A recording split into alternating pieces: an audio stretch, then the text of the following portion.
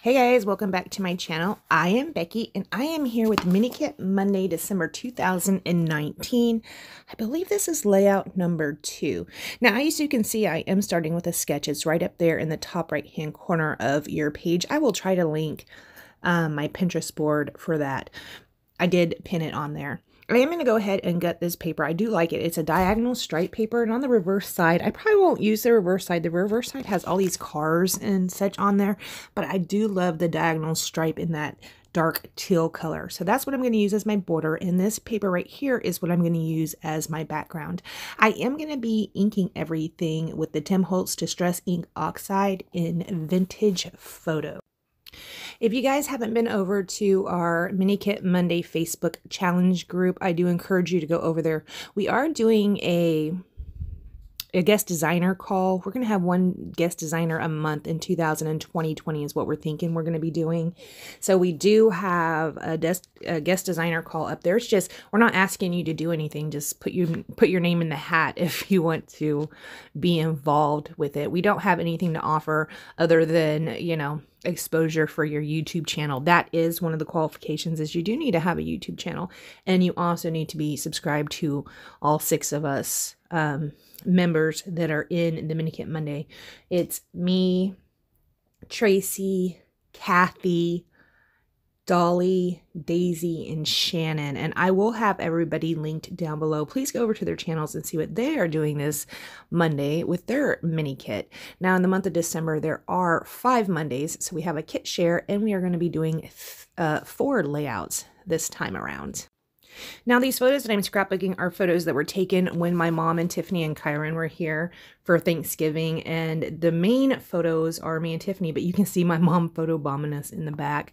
She reminds me of that Mr. Wilson or whatever his name was, the neighbor on Tim the Tool Man. In that bottom photo, you can see just her eyes are peeking up over our or over Tiffany's arm. It's hilarious to me. They're not the best photos, but this was a really good day, and I really love those photos, especially the one with my mom.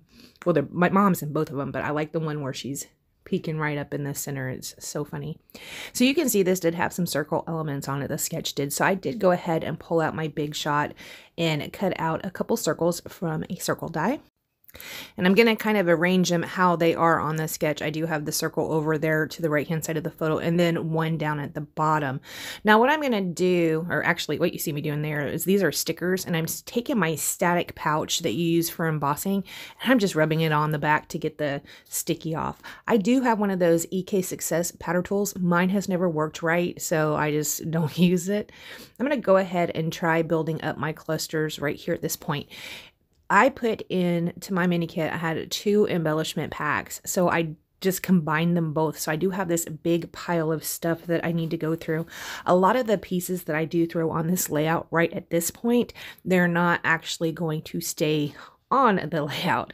I will end up losing a little bit of footage. And when I come back, um, my main base pieces will be inked and glued down. And I will have already decided on what I want my embellishments to be.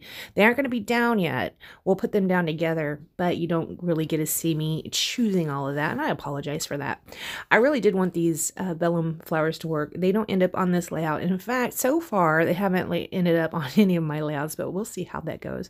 Here I'm trying to find something that could serve as my title. I pulled out one of a kind, the door, just several different ones. I think down there at the bottom, refresh. I end up going with one that says simple pleasures. I've kind of been getting away from making my own titles, and this is why.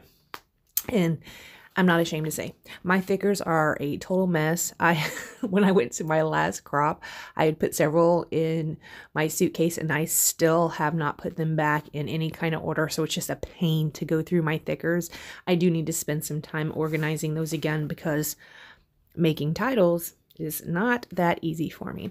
So here you can see is where I lost footage and I came back in those pieces that are over there on the left hand side. Those are the pieces I decided on as my embellishment clusters and you can see they're a lot different not the same ones I had thrown up on the page when I started except for this down here at the bottom that is the same that little banner piece says this is our happy place this was actually taken we are at Tybee Island and I don't know, we were either getting ready to go in and eat lunch or getting ready to come out and eat lunch. I am going to use that cute little bird. He was on the original piece. I'm going to pop him up some on some foam tape. I also, that banner down there at the bottom that I said says, this is my happy place, that also is popped up on some foam tape.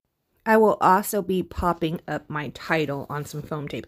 This piece right here says good vibes. I really wanted to use that, but I can't find a way to get it to tuck in nicely. It's an octagon shape, and what I mostly have on here is circles, so yeah, it didn't really work all that great. This one I put down at the bottom, it says love you. It's like, like a copper heart. And here's where I'm going to go ahead and put that title up on some foam tape. This is a thinner foam tape I had gotten from Close to My Heart. I do love using it, and I've talked about this before. It's a little pricey. What I end up doing is if I have hostess rewards where I can get something that's half off, I'll buy the foam tape half off, half off because I don't mind paying half the price of what it is, but I don't really want to pay the full price of what they charge for the foam tape. I know that's horrible, but whatever. It is what it is. I am going to also embellish with some of these epoxy heart hearts. I believe those, I don't know where those came from. Actually, they came in the kit um Christina had made this kit for me and she they were just like a half a pack of some epoxy bits. I don't know what the brand is. I am pulling out these designs by Rachel or Rachel Rachel Beth designs. I'm pulling out her metallic watercolors. I am going with the copper color and I splatter that around the page. I get this huge one right there. See it? Oh my word. Uh, I decided to leave it. I don't end up wiping it up. I leave it like that. In fact, I have this layout in front of me that big spot just dried. It dried like it would if I had left it in the pan of uh, watercolors and they dry back up, right? So that's how it did on the page. It looks really cool. It is a big blob, but I don't care. It looks great, um, and it is still shiny. All right, guys, I want to thank you so much for joining me. Please make sure you check the links down below and check out the other ladies and see what they came up with for this month. I want to thank you so much for joining me and I will see you next time. Bye, guys.